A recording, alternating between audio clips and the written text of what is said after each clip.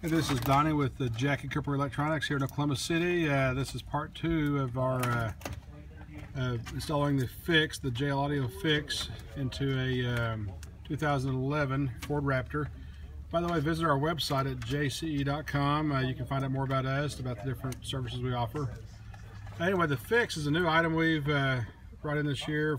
Uh, actually, JL Audio brought out this year. Um, and it's designed to take factory systems and come off the factory amplifier or the high output of the factory radio and you can take the the signal back to a flat response signal so you can actually take an amplifier at that time and build a system off of it and replace your speakers keep that you know stealth look by keeping your factory system in the dash uh, keep your factory speaker or keep your factory speaker grills and, and install better quality speakers in, in the factory locations. So when the system's all finished you get that incredible sound but have the the look of the factory system which is becoming more popular all the time.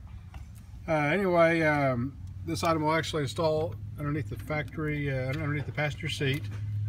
Uh, Tristan where's the amplifier going to go in this vehicle? It's going to go here where the factory amplifier, Okay, so factory subwoofer enclosure is. okay we'll take the factory subwoofer enclosure out of this vehicle and put the factory amp there.